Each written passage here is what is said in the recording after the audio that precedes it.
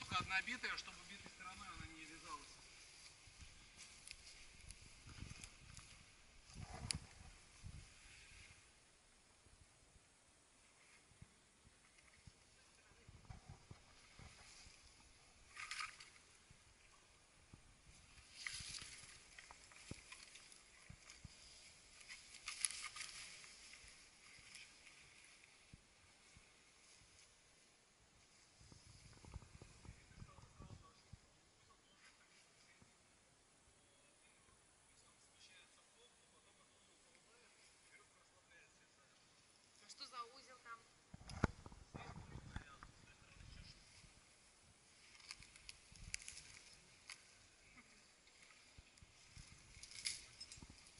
Вот сейчас он будет завязывать. Можешь посмотреть. Вот этот узел, да? Такой же сейчас будет?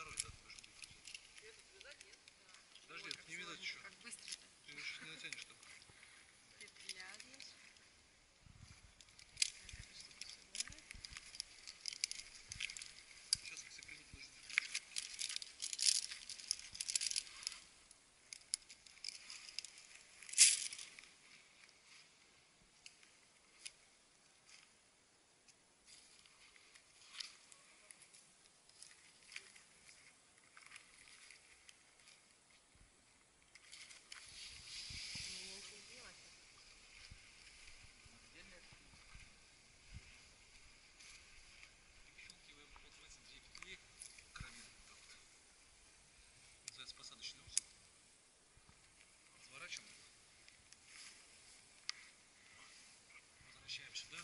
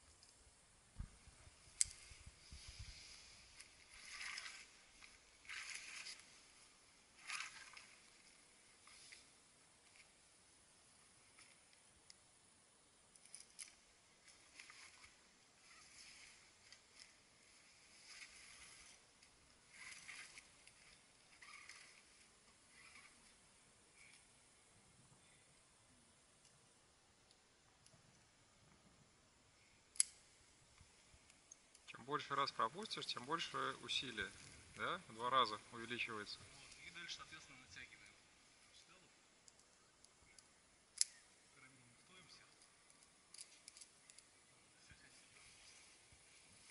Сейчас он прикладывает усилия сколько? В четыре раза больше, да? Ну, 4. Ну как бы, то есть он сейчас натягивает эту веревку, вот, э, грубо говоря, ее тянут не 4 человека, а примерно 10.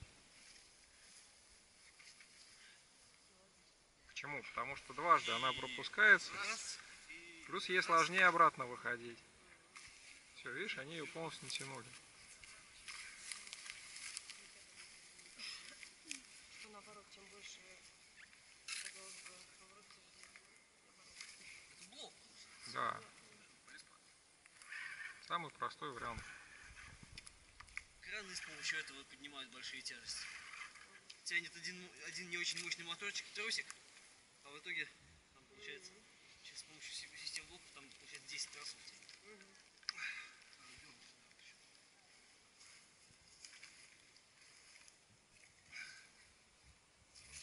Вот когда троллей натягивали, Ну да, там, там были ну, вот там эти. куча блоков, Да, да, чтобы трения не было.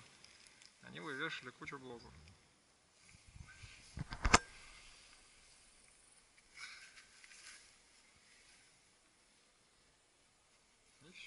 Ну, достаточно всего ну, пару простых углов.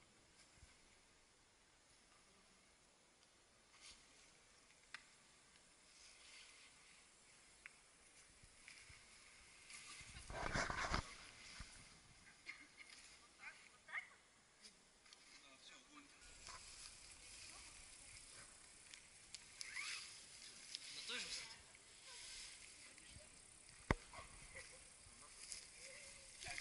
Повыше натягивай, просто веревку надо куда-то потратить.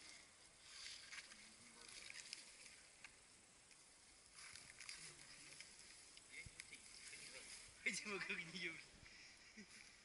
Я думал,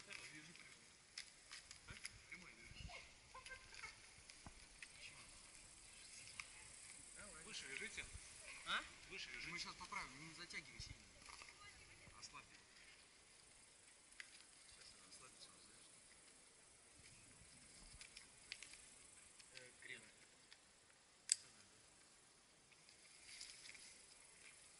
Так, чуть-чуть камень найду.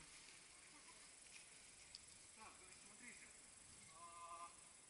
Есть Наташ, покажи, пожалуйста, в какой системе как она одевается. Вверх-вниз, вверх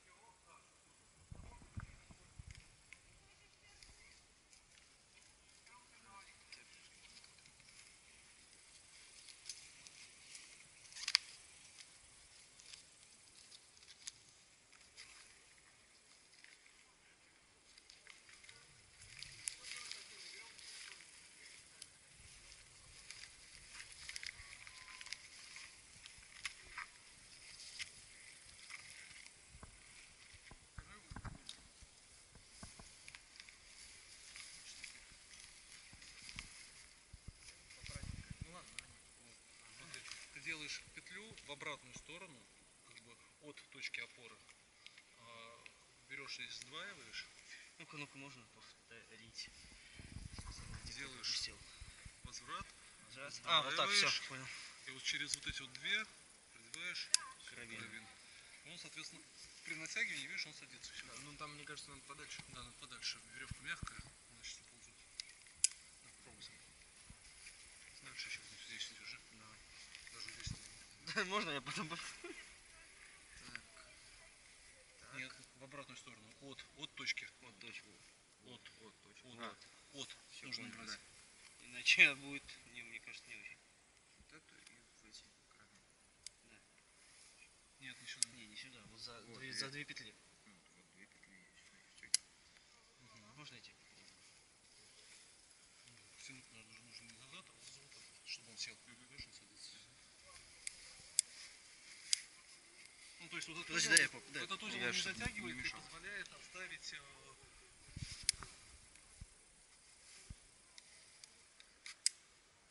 Самозатягивающийся узел. Ну, он вот и как раз дело в том, что он особо не затягивается. То есть он получается, он э, легко развязывается даже под Ага. нагрузкой. И получается, что он весь из десятки, из основной веревки, и его можно оставлять в этой системе, его можно не развязывать. Он, конечно, портится веревку, но меньше, чем другие узлы. Ну, Обычно карабин, ну да, ну тут натягиваем. Ну, я понимаю, но это полисмаст организовывать и так далее. Плюс э, ты его не можешь подтянуть, если у тебя соревнования идут. Мы Тебе когда нужно под- под- подтянуть, например, а ты как будешь его подтягивать-то? обычно беркшафт так. Карабин туда стягиваем. Беркшафт тяжело развязывается. Это очень тяжело.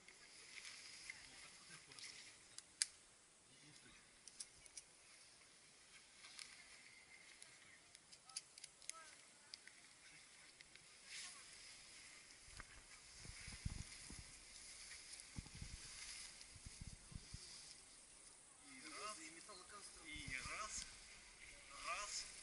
и раз, раз,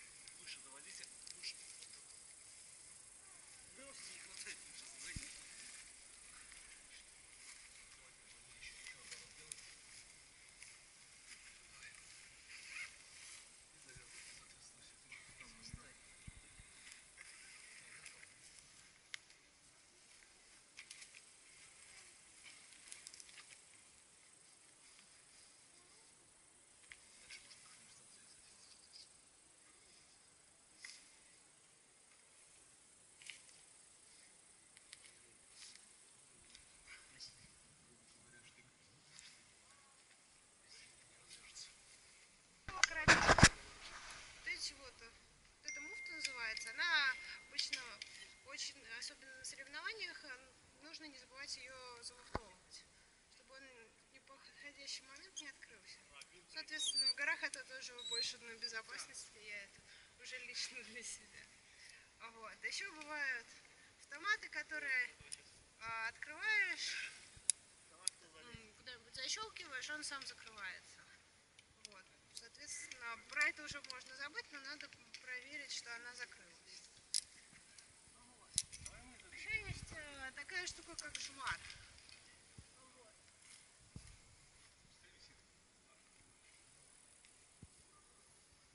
М.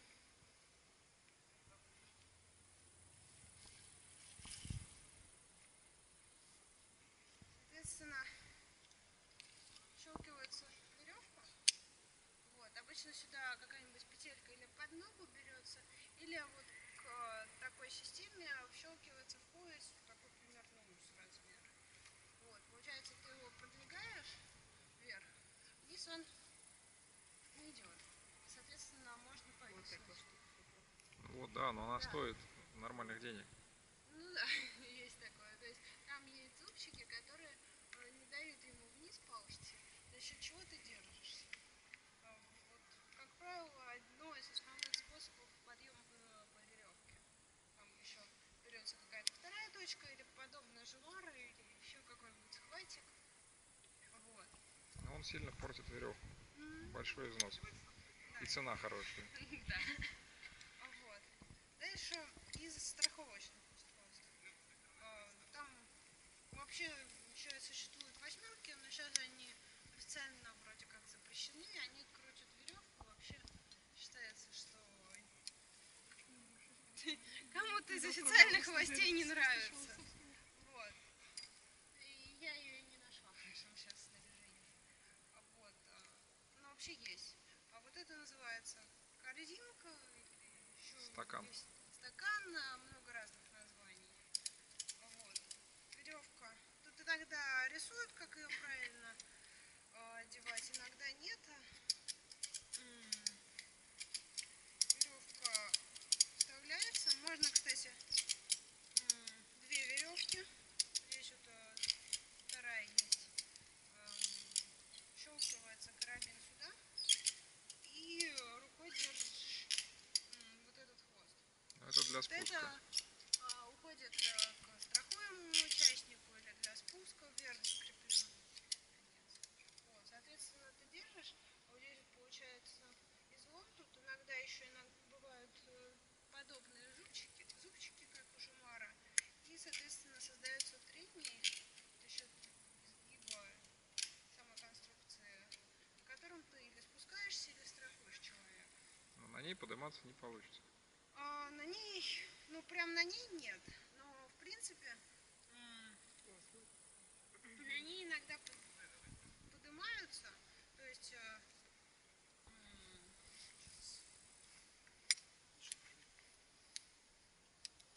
сюда нужно еще жумар или еще что-то в пару, потому что так можно э, выбрал веревку, загнул, повис, если вот это щелкнуто в человека. Соответственно, чтобы еще выбрать, нужно или на ноге встать, или что-то еще прицепить. Это будет очень Дополнительная точка, но и- используется для подъема, а не, не в одиночку. Вот. Соответственно, григри, которые, например, на скалодромах часто используются. М, Тоже страховочная, как спусковой используется. Мне на троллей это хуже. Нет, ну, там ролики, блок ролики. Нет, там когда страховать. Вот. другом троллее, Соответственно, при- допустим, когда человек лезет вверх, а, веревка вот так вот выбирается, и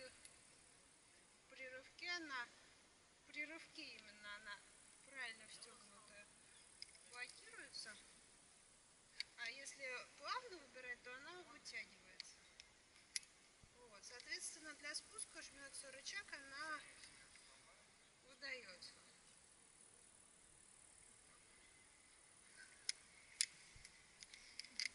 В принципе, для подъема подобным, как стакан, тоже используется, если еще дополнительно жемар берется. Убирается, повисает человек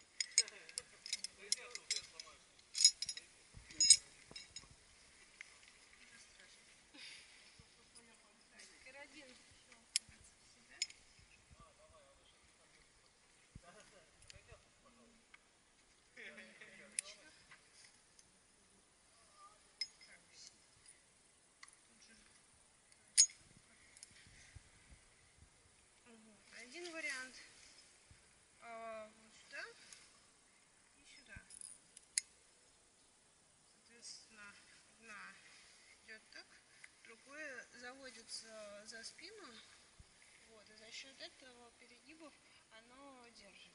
Это для спуска. Тогда спуск. По стене, например. Ну да.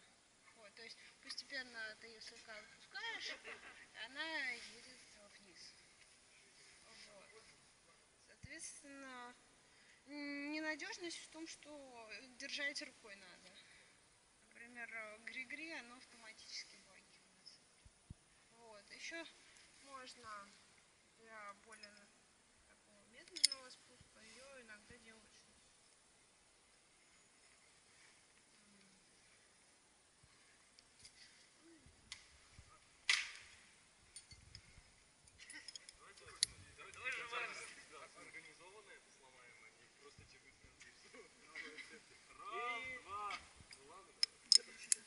Вот, еще один из вариантов вот так. Пол, пол ветки сломал.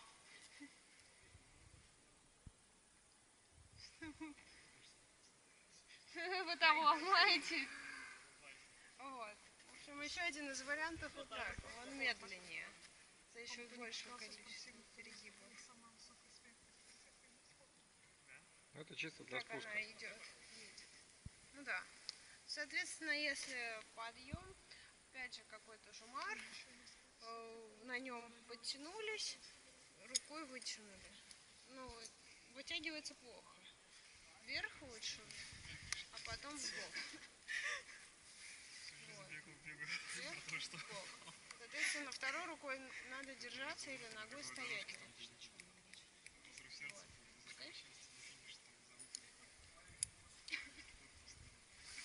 Да и второй вариант восьмерки.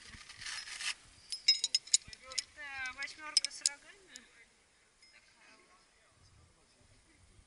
Похоже. Штаны на поло, кепку и сумочку.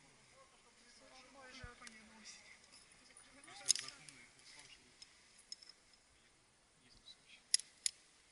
Вот, соответственно, рукой тоже в бок, э, за счет чего держится. Еще вот эти вот рога используются, если надо зависнуть, э, веревка на них наматывается, за счет чего закрепляется. Еще иногда вот здесь вот завязывают сверху. Соответственно, зависли, надо что-то или перещелкнуться, или что-то сделать. Вот. То есть восьмерка можно использовать как вот именно для того, чтобы остановиться. Как страховка. Ну да. Но для спуска и подъема она не очень удобна. Не, в принципе, нормально. Ну, для спуска. Она путает веревку. Мы вот э, буквально на скалах были. э, там ребята с восьмеркой страховали. Новая веревка. Так вот. После пары спусков подъемов. Соответственно, у нас э,